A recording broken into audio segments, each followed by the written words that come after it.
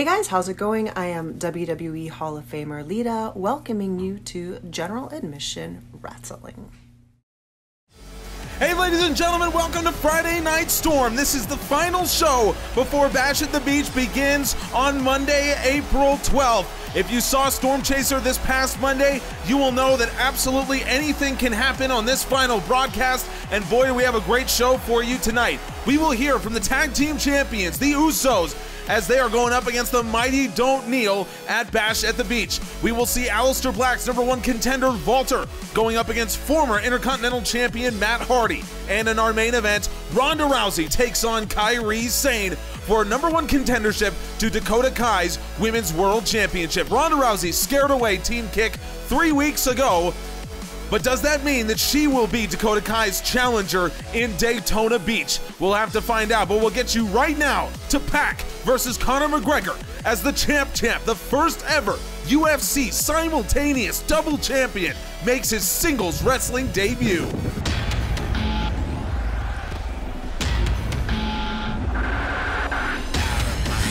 We just saw the bastard this past Wednesday on GAW Dark he took down former Intercontinental Champion Kofi Kingston, and he did it with a superplex, which, when you combine that with the Black Arrow and the Brutalizer, it makes for a pretty dangerous opponent, and especially considering the fact that Pac is, of course, a former cruiserweight and world champion.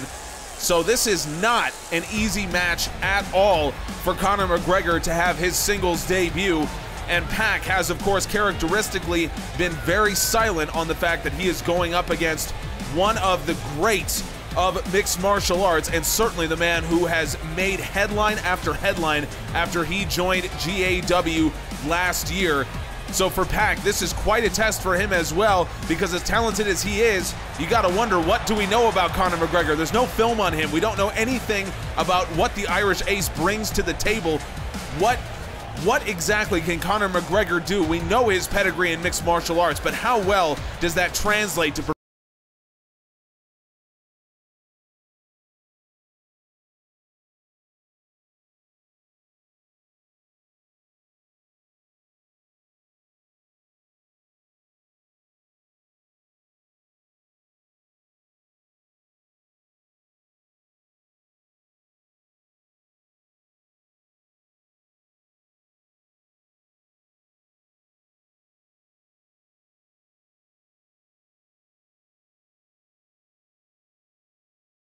the pageantry involved in Conor McGregor's entrance, and would you have expected it to be any different? Conor McGregor, I'll tell you what, this guy looks big. He looks awfully big compared to what he was fighting at in the UFC, specifically when he was fighting at featherweight, and that had a 115 pound limit. So you look at him right now, and he weighed in yesterday. Obviously, uh, we don't enforce weight divisions here in GAW anymore, but Conor McGregor weighed in yesterday at 148 pounds. This, this is a much, much bigger Conor McGregor than we are used to seeing. And he was dangerous enough as uh, he was dangerous enough at one uh, 115 and then 125 for him to add on about 15 pounds to that frame. That that could mean disaster for Pac today. Combined with the fact that we don't know anything about Conor McGregor or where he's at, I can't wait to see this match. Conor McGregor is going to be giving up some height to basically anyone that he goes up against. Beautiful takedown for McGregor to start things off. Now, as we know, weight is not as important in professional wrestling. When you look at mixed martial arts, it is strictly enforced weight divisions because of the kind of combat, but in professional wrestling, weight means a lot less. Conor McGregor, that is a beautiful takedown. Fujiwara armbar here applied from Conor McGregor. First submission attempt of the match, and Pac, beautifully done, transitions into a head scissors. So in professional wrestling, that weight means less because of the differences in the mat, the differences in the ropes, and the differences in the rules of professional wrestling. Look at this, McGregor, beautiful, go behind in a German. Height, though, does still mean a lot in the sport of professional wrestling. So McGregor, he's going to have to figure out how to work with his uh, his height disadvantage. And now Pac from the top, able to fight it off. What a chop! into the front chancery. McGregor knows how to defend it. He's been on the wrong end of a guillotine several times, but Pac, nice takedown, and he targets the arm. And that is the left arm as well. McGregor, famously a southpaw, left-handed striker. So Pac, he's going to want to make sure that McGregor can't do any of that. Chop counter, but McGregor comes right back. What a takedown. I think we'll see that. We'll see more of that later on in our main event. Ronda Rousey, she's been known to use moves like that as well. And now Conor McGregor, look at this. Nice gut wrench suplex. McGregor's looking good right now. But of course, the question, as it so often is, is uh, what is the cardio going to be like for someone who is not used to fighting at this level, fighting in this sport? We talked that was a huge part of what was talked about uh, when McGregor was training to fight Floyd Mayweather in a boxing match a few years ago. People were talking about does he have the cardio to be able to keep up with a with a boxer? And that question is pretty much the same here. Does he have the cardio to keep up with a professional wrestler in Pac? He fires away with that lariat, and it's looking good so far. A little bit of a slower match fought by both men as both are, you know, really trying to figure this thing out. Conor's trying to get his feet underneath him, and Pac just trying to figure out who Conor McGregor is, what he brings to the table. McGregor, nice go behind, and a German. We're seeing fewer strikes than I would have expected from McGregor. I take it back. McGregor into the top mount position. This is something he's used to doing, and he's firing away with those lefts right to the face of the bastard. Referee trying to get Pac to get up and defend himself, and McGregor, Pac might be out. McGregor with that ground and pound. He's so used to doing it. Conor McGregor absolutely just sends Pac into the abyss with that one. I think Pac's soul just left his body as Conor McGregor, look at him dealing those left hands. That is not something that Pac will be used to. A man hitting as hard as Conor McGregor repeatedly. You can see Pac bleeding after those shots. Conor. Now, you've all seen that I'm as dangerous in the ring as I was in the octagon. You all thought changing sports would take the champ champ out of his element.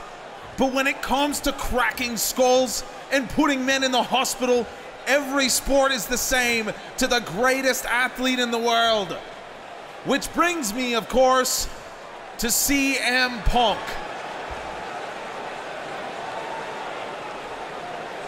Now, this is no surprise. We've fought backstage in multiple states. We've been we've bloodied each other up. And don't think the champ champ isn't aware of the price he might pay to step into the ring with you. You've had a legendary career, CM Punk, but it's not 2011 anymore. So now I want to end this. The only way to do that is to look you in the eye. Come join me out here, Mr. Punk.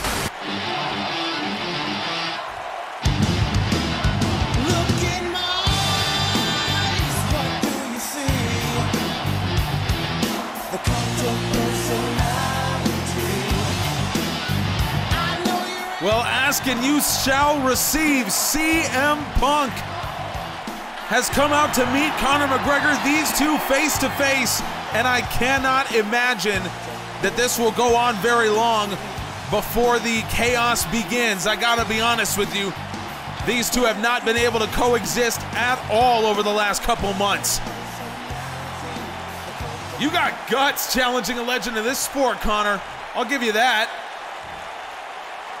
I don't need compliments from you.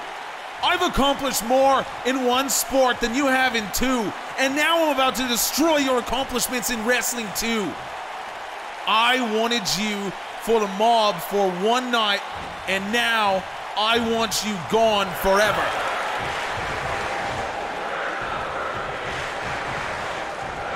You know, it's funny. I bought into what you told me before Nitro. I saw what you did in the UFC. Who didn't? I wanted to team up with some of the best athletes in the business, but I always knew it would get here eventually. I knew you'd feel threatened by me. I knew you'd see me as a punk. You say one more word, I'll slap the taste out of your mouth. I want you gone because it took you all of 10 minutes to start believing you were the star. You always believe you're the star. I wasn't about to bring that near the best Intercontinental champ in history. Bobby Lashley is the future of this sport, not you. So what I want, what I want to do is beat you so bloody and injure you so badly, you will never come near this place again. I want to send you packing in an Irish street fight. You know what? I'll take you up on that. I haven't had a high quality opponent in this company in years. Sounds like a great opportunity to put an arrogant prick in his place. You know what, punk? That's a poor way to talk about the two men in the UFC that made you their bitch. Oh my God! CM Punk not gonna take that. He's not gonna take that lying down at all. He's booted Conor McGregor, and now CM Punk will put the boots to the Irish champ. CM Punk, he's calling for it. He's calling for it. McGregor up on the shoulders is where you never want to be. Go to sleep. CM Punk has finally left Conor McGregor in the exact in the exact state that I think most fans would want to see him in. He has left McGregor down and unmoving. McGregor may have bitten off more he can chew, more than he can chew at Bash at the Beach. And it is confirmed Conor McGregor versus CM Punk in an Irish street fight at Bash at the Beach. No rules, and hopefully we will finally find out which of these two legends of combat sports is superior. We will find that out at Bash at the Beach, which again begins Monday, April 12th. Coming up next, Walter, the number one contender for the World Championship. He's in action.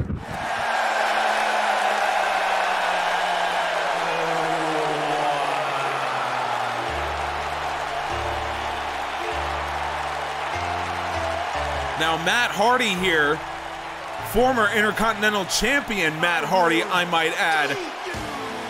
We are coming up on the one year anniversary of when Matt Hardy just, I, mean, I guess you could say made history. He really punched his name into the history books by winning the Rumble on the Beach from number eight.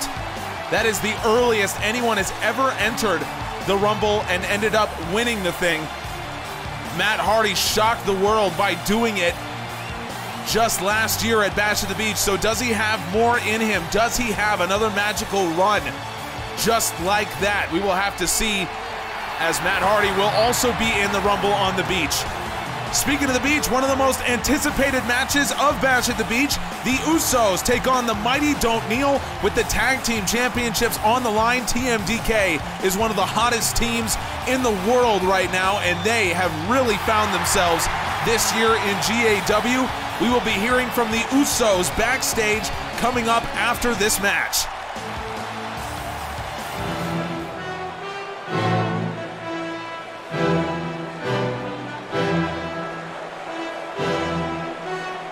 Now, when it comes to Intercontinental Champions, Matt Hardy, of course, held that belt, but Walter is the gold standard. 16 defenses from Walter when he held this title back in 2015. 16 defenses over a 600 plus day reign. It is to this day one of the most prolific runs with any championship in the history of this company. Walter really made a name for himself and the Intercontinental Championship at that time. And now he's looking to do the same with the World Championship. Aleister Black will be his opponent at Bash at the Beach, and Aleister Black is here in that same spot that Walter watched Black compete. Black is here watching his challenger. Walter has advanced to having the best record in uh, in Friday Night Storm and the second best record in the company at 6 and 0, behind only Midnight, the current Raw champion over in the GAW Academy. He will also be fighting at Bash of the Beach. He'll be taking on the young phenom Igris. Matt Hardy into the corner he goes and Walter out of the way. Aleister Black doing his studying here on this match, and you know when it uh, when it comes to Walter, what he lacks in variety, he more than makes up for in terrifying power. And now this Boston Crab locked in deep. Matt Hardy does real well to get himself out of it. Front chancery here from Hardy and Walter. He possesses such a tremendous mat wrestling skill. It is almost unthinkable. And on top of that, he's got this brutal strength as well. And Matt Hardy learning the hard way about the strength of Walter. Up to his feet goes Hardy, and now Walter hoists him up. Walter looking for a crucifix bomb. Walter's got him up high, and Matt Hardy slides his way out of it into a neck breaker. That was crucial from Matt Hardy. And now Hardy, boot in, Matt Hardy, twist of fate. And Matt Hardy suddenly finds himself in the, uh, in the position to beat Walter. The big man kicks out. The ring general. You're going to have to do more than that. Hardy's realizing that now. Walter, of course, famously a, couple weeks ago here on Storm beat Ricochet and Matt Riddle in the same night. Matt Riddle went on to fight Aleister Black for the World Championship last week. Black retained and set up this match. Walter came out and confronted the Dutch Destroyer. And now Walter with Matt Hardy up high Samoan death drop from Walter. Matt Hardy to his feet and Walter, Walter making his way to the top rope. Here comes the 300 pounder with an axe handle. Matt Hardy caught him in the act, and now Hardy. Nice strike out of the Bulldog. Walter rolls out of the way, and Walter comes flying right back. Two big lariats. Irish whip into the corner goes Hardy, and Walter comes in. What a hip attack, and off the ropes, Walter. Oh my. A cross body that will vibrate every bone, every bone you have. Oh, what a lariat to answer the potential twist of fate from Matt Hardy. The fans going nuts here, and Aleister Black watching one of the most dangerous men in the company go to work, but Matt Hardy avoids that one, and Hardy, nice twisting boot. Matt Hardy has uh, done well for himself in this match. Certainly put up more of a fight than most do against the ring general but that's not saying much. Most men can't last more than two minutes in the ring with Walter. But this is why Walter wanted this match at this point. Walter wanted the best competition he could find ahead of his match with Aleister Black, and now Matt Hardy with a Lariat Bulldog combination. Classic Matt Hardy. And now Hardy with a side effect. He hit the twist of fate earlier. There is the side effect, and now Matt Hardy hooks the leg. Hardy's got a chance once again, and another kick out from Walter. Hardy's been able to do a little bit more here against the big man than most, but he's also finding out that when his back is against the wall, Walter is capable of doing just about anything. And Aleister Black has a front row seat to watch the toughness of this man. Boot in and Walter. Hoist up Matt Hardy. Power bomb. Absolutely devastating power bomb as Walter drives in Matt Hardy with all of his strength, leg hooked, and Walter sends a message to the world champion Aleister Black. If Black is on the wrong end of that power bomb, he could be in some serious trouble. And what we've seen here, the twist of fate and the side effect couldn't get the job done. Will the Black Mass be able to? That's what we don't know.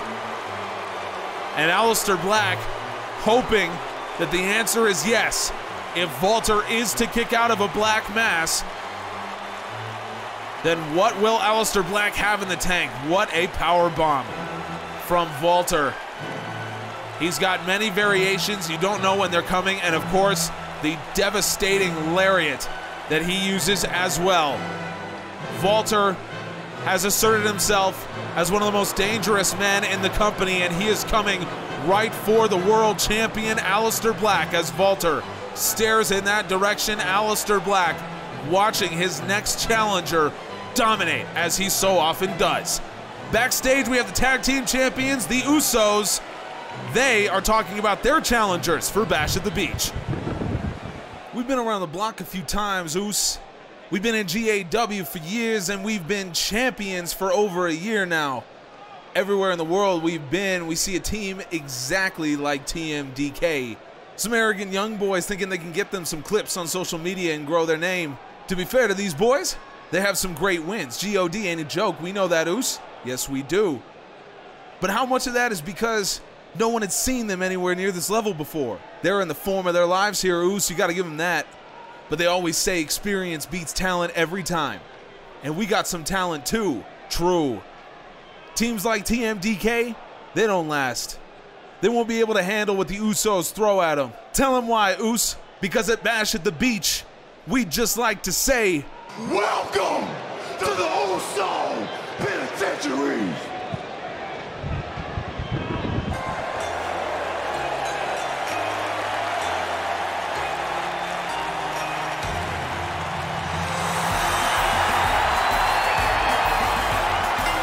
there will never be a, uh, a woman in GAW that is more beloved by the fans. I'm just putting it out there right now. Asuka's the only one who's close. But Kairi Sane, everyone loves the Pirate Princess, and she has rewarded them with two consecutive wins and has really earned her spot in this match. She has an opportunity to fight for the World Championship yet again. She had to deal with a lot of criticism from people saying that Asuka had really uh, picked her just because they were friends and have been friends for a long time. And that's why Asuka defended her title several times against Kairi Sane. She had to deal with a lot of that criticism, and now she is going to get the opportunity to earn her spot in a World Championship match. And speaking of World Championship matches, I cannot wait to see the Usos take on the mighty Don't Kneel. You know, not since we saw the Usos battle, I guess the Lucha Brothers, have we seen so much animosity between two tag teams. The Usos and GOD, of course. There was animosity there, but not like this. And so the Usos want to teach TMDK a lesson, and TMDK believe they are destined to be tag team champions.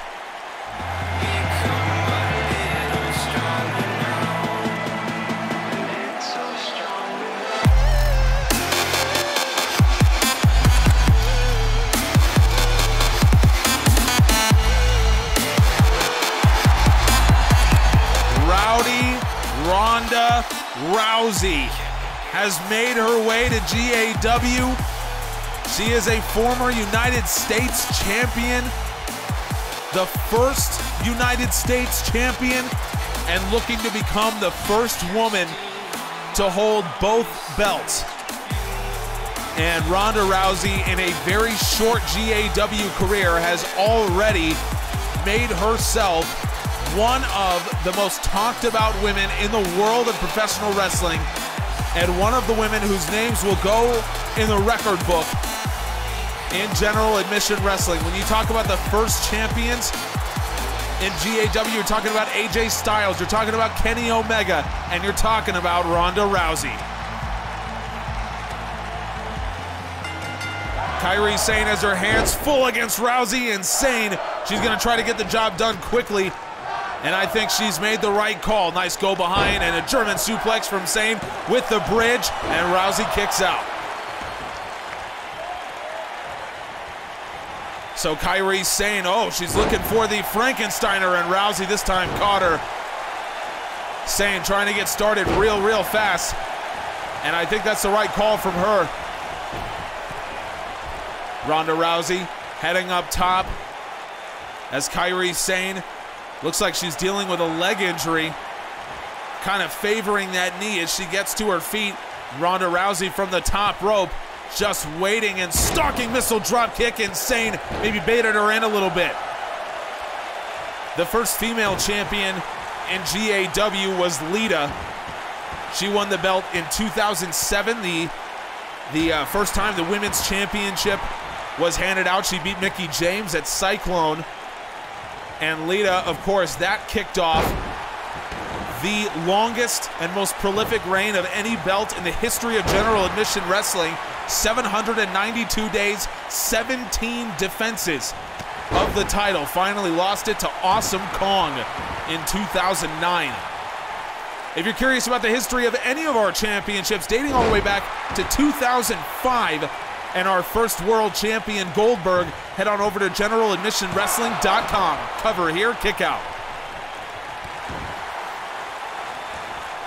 You'll also find full recaps of every show as they happen. So you never have to miss a minute, and you might want to read up if you missed any of our shows because Bash at the Beach starts on Monday, and you do not want to miss it. Who will Dakota Kai face?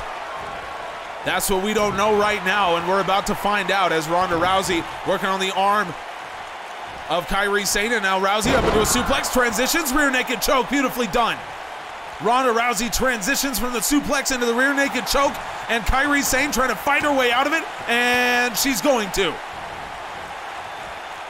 Rousey had the body scissors in and everything. That was difficult, but Sane, beautiful Frankensteiner. Cover here from Kairi Sane, maybe just try to get some feeling back in the arms and a kick out. It is tough to be put in that rear naked choke, especially from someone like Ronda Rousey, who is so proficient at all forms of submission wrestling. Kairi Sane that's a beautiful drop kick off the rebound.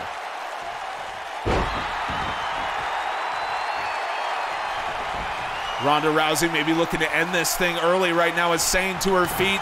Kairi Sane fights off. Of course, we know the armbar may be coming, but here comes Kairi Sane, dead on neck breaker. Ronda Rousey, of course, held the U.S. Championship. She won it at Cyclone Denver in season one. She was the first U.S. champion. She beat Lita for the honor. Rousey held that belt for 104 days, defended it successfully six times against five different women. And it was tremendous to see Rousey do what she did with the belt, with the new championship. And now Kairi Sane from the top. Insane elbow. Kairi Sane looking to steal it, looking to make sure that Ronda. She was looking to spoil Ronda Rousey's return to GAW. And Ronda Rousey not going to let it happen. Ronda Rousey has some history with Dakota Kai.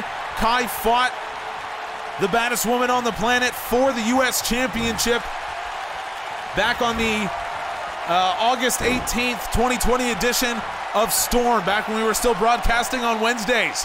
Kairi Sane lines her up, looking for the sliding forearm. Rousey, look at the quickness. She's out of the way. Kairi Sane eats turnbuckle there, and now Ronda Rousey flips over armbar. Kairi Sane right in the middle of the ring. There is nowhere for Kairi Sane to go as Ronda Rousey wrenches back. Kairi Sane taps out. Nothing for Kairi Sane to do. And Ronda Rousey collects another arm on her way to becoming number one contender for the World Championship. What a match fought by Ronda Rousey. Absolutely tremendous stuff. And here it was, the insane elbow. Kairi Sane from the top Thought she had it won right there, and Ronda Rousey not going to let her have it. Kairi Sane slides in, catches that arm. Hang on, this Tegan Knox. Tegan Knox has come out here. Tegan, this is the first member of Team Kick that we've seen at all, and it's Tegan Knox. But where is Dakota Kai? As it's Tegan Knox just staring daggers. Oh my God! Dakota Kai from behind. Dakota Kai from behind. Both members of Team Kick have returned tonight. Tegan Knox following Ronda Rousey out of the ring. Oh my God. Team Kick sending a message right now to Ronda Rousey as Tegan Knox shining wizard. Dakota Kai absolutely loving what she's seeing as she's watching her challenger for Bash at the Beach be taken apart by Tegan Knox. And now Dakota Kai is going to have free reign the.